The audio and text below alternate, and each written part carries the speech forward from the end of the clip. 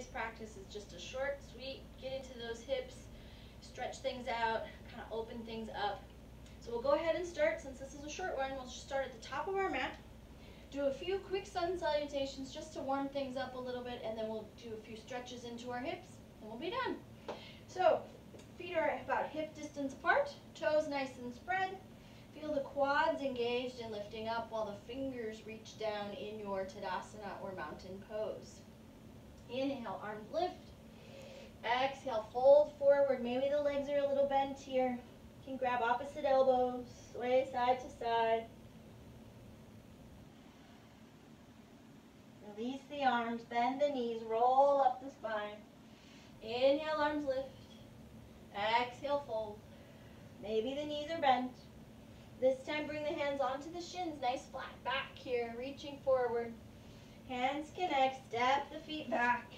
Lower to the knees, baby chaturanga, elbows in. Lift up for cobra. Back to downward facing dog. Go ahead and pedal the feet here. Continuing to open up the backs of the legs. And then look forward, walk the feet up. Come to your flat back. And exhale, fold. Bend the knees, roll up the spine.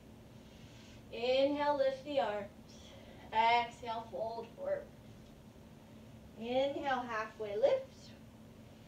Exhale, hands connect. Step back into your plank pose. Go ahead, lower to the knees, baby chaturanga. Lift up for cobra. Back to downward facing dog. Maybe shake the head, yes and no. Pedal the feet. And then look forward, walk the feet up, flat back. Exhale, fold. Bend the knees, roll up the spine. Inhale, lift. Exhale, fold.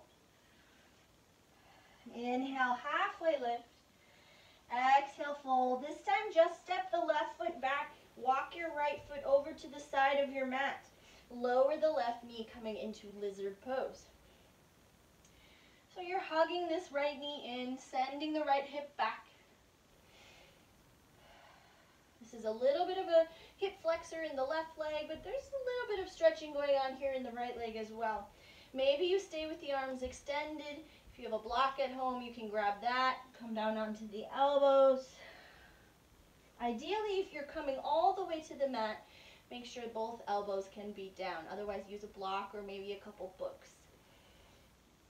And then go ahead and roll to the outside edge of your right foot, getting a little bit into the outer glute.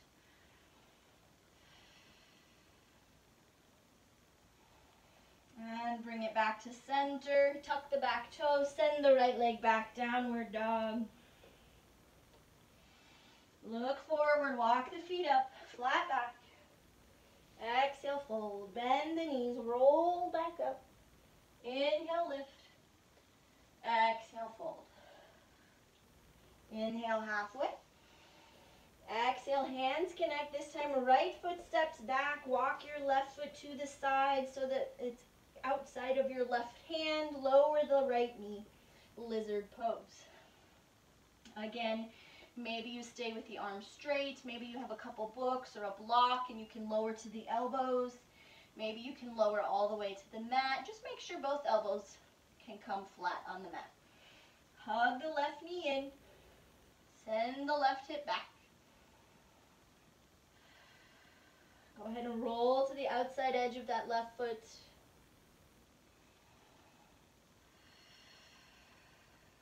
Easy breaths here into your hips, helping them to relax.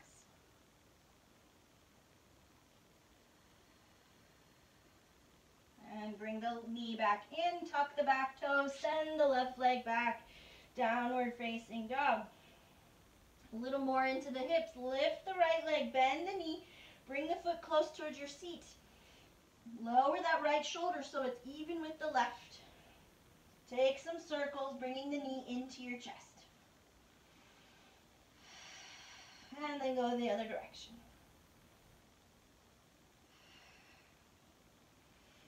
And then lower the right leg down. Inhaling, lift the left leg, bend the knee, take the same position. Open that hip. Left shoulder in line with the right.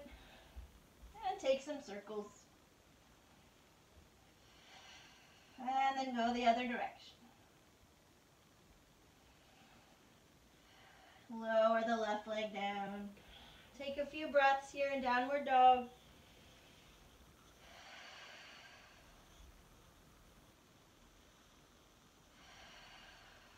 On your next inhale, right leg lifts. Bring your right knee to your right wrist.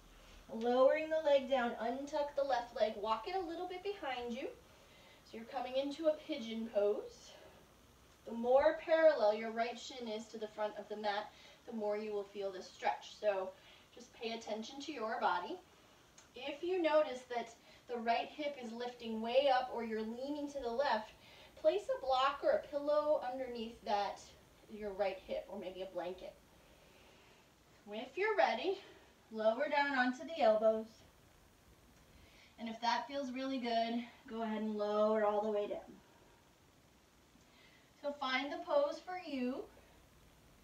You want to try and keep the hips nice and even. You don't want to roll to one side or the other. Like I said, if you need to put a little prop underneath your right hip, that's totally okay.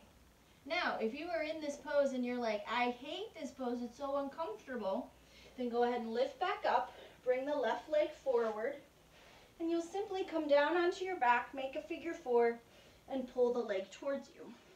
So that gets you the exact same stretch, but it can be just a little more accessible for those who might have tight hips. So either you're in the sleeping pigeon, like I am right now, uh, on your stomach, or you're in the reclined pigeon on your back. So choose the one that's right for you.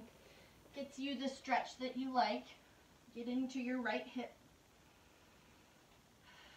And for those who might be in the sleeping pigeon and you want a little bit more, take your left arm, thread it under your right, come down onto the left shoulder, and bring the right hand behind you. That is a great variation if you need a little deeper stretch in your right hip. Take a few breaths here, continuing to relax into the glutes.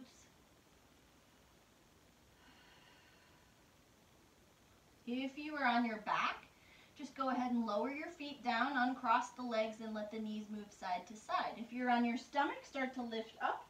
Tuck the back toes, send the right leg back, maybe a three-legged dog, shake it out. Pedal the feet. Inhale the left leg, bring the left knee to the left wrist. Untuck the right toes, walk that right leg back just a little bit. And if you're on your back, you can just simply cross the other ankle over the other knee and start to pull that leg towards you. If you're on your stomach like I am, Take a minute to find your pose, maybe placing a prop underneath your left hip if you need it. And then slowly start to lower, maybe to the elbows, maybe all the way. Listening to your body, do the one that is right for you. This side might feel different than the other one, so just be patient with that.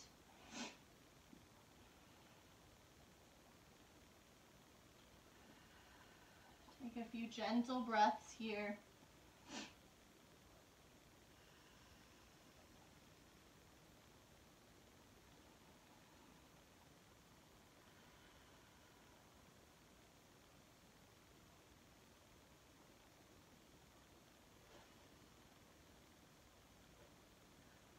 And if you're on your back, can slowly lower the feet, uncross the legs, and just let the knees move side to side. If you're on your stomach, make your way up. Tuck your back toes, send the left leg back, three-legged dog, shake it out. Maybe pedal the feet. And then everyone make your way onto your seat. If you're on your back, just roll up. And then bring the soles of your feet together. You can play around with how close or how far your feet are from you. I find that if the feet are a little farther away, I feel it more in my outer thighs. And if I bring the feet in, then I feel it more in the inner thighs, inner, um, you know, the inner hip flexor, inner groin. So whichever one feels good to you, Go ahead and hold maybe the ankles, letting the elbows press the knees down. Or maybe you hold the feet, opening them up like a book. Maybe you stay fairly upright, or maybe you start to fold over the legs.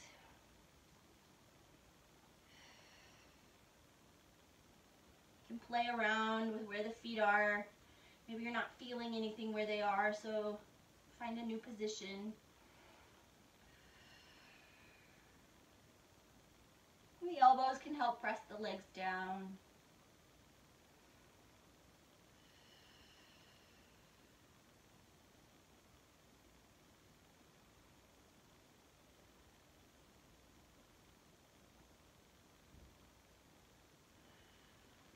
And make your way up, bring the legs together, extend them out, go ahead and shake out the legs. Take one forward fold, inhale up, hinge from the hips, reach towards the toes. Maybe you reach them, maybe not. Don't worry about it. Keep the back nice and flat here and notice how that sensation feels on the backs of the legs. And then go ahead and let the upper back round. See how that sensation might feel different.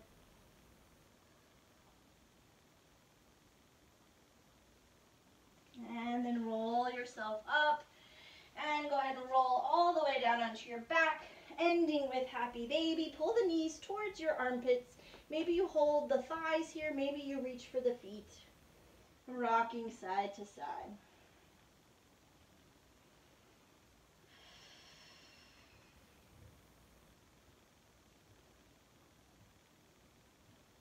And then pull the knees in, hug it nice and close, take a few rocks back and forth, come up to your seat. Know that there are lots of different poses to help open in the hips. This is just a little tiny taste, but hopefully your hips feel a little more open, a little more relaxed, a little more stretched. Thank you so much for joining me. I'll see you next time.